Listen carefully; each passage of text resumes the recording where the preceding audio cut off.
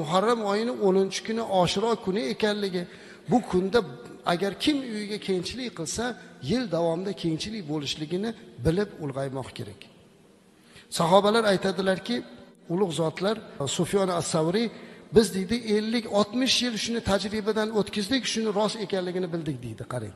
Ustoz domla ulug' zotlardan biri oshiro kuni oilasiga kengchilik qilib bir oshiro oshini pishirsa yil davomida unga kengchilik bo'larkan degan gapni aytgandan keyin bir faqir kimsa bu narsani eshitib ta'sirlanibdi.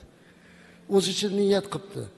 Agar man bugun oilamga kengchilik qilsam yil davomida dasturxonim to'kin bo'lsa man bugun oilamga inshaalloh oshiro kuni osh qilib beray bir ovqat qilay.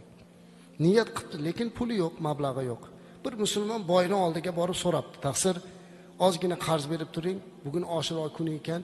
Iftorlikka man chiroyli bir ovqat qilay. Yil davomida bizni uyimizda ham bir go'sht bo'lsin ovqat bo'lsin. Shu hadisga qattiq e'timod qilay debdilar. Bitta narsaga inson chin yurakdan ergashsagina bo'ladida ixlos qilsa. Boy aytibdi ertalab kelgan ekan ha peshinda keling man sizga beraman pul. Peshinda kelsa asrda keling debdi. Asrda kelgandan keyin qanaqa farosati yo'q odamsanki senga yo'q deyolmayotganimni bilmaysanmi kelaverasanmi debdi.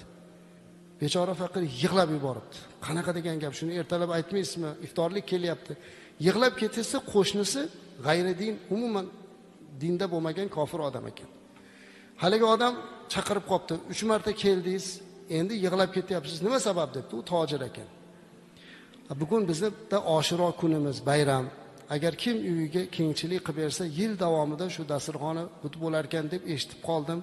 Kambag'alman. Bugun bir oshiro oshini qilib bersam bolalarim yil davomida oshdan bahramand bo'larmikin? Shu hadisga mahkam suyanay deb niyat qiluvdim.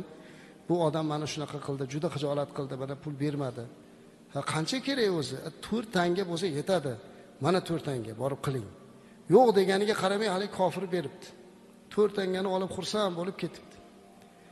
Ertasiga haligi xasis boy tush ko'ribdi. Tushida jannat qasrlar binolar. Ko'rsatib turib aytibdiki mana shu narsalarni hammasi seniki bo'lishi mumkin edi lekin kecha qo'shningga o'tdi shu narsa. Uyg'onib ketib bo'lishi mumkin emas bu musulmon bo'lmasa qanaqa bunga bo'ladi? Endi bu tush endi.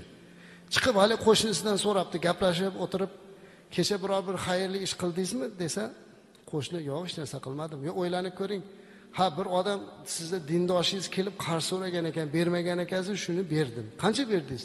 Ha to'rt tanga berdim. Mana o'n tillo tanga o'sha savobini menga soting debdi. Yo'q bunaqa qilolmay qarang shu savobni ham sotib olaman deymizda doim. Tojirda. O'n tillo beraman yo'q bermayman. Yigirma beraman yuz beraman. Olib chiqaveribdi oxiri. Haligi kofir qo'shnisi o'rnidan turib ey qo'shni ming tillo bersang ham savobni sotmayman. Sen ko'rgan tushni man ham ko'rdim debdi. O'sha kuni musulmon bo'lib bo'libdi. Man musulmon bo'ldim iymon keltirdim. Shuning uchun azizlar bu oshiro kuni nafaqatgina o'zimizga balki qo'l ostimizdagilarga qavmi qarindoshlarga ham yordam bersak inshaalloh buni savobidan hammamiz bahramand bo'lamiz.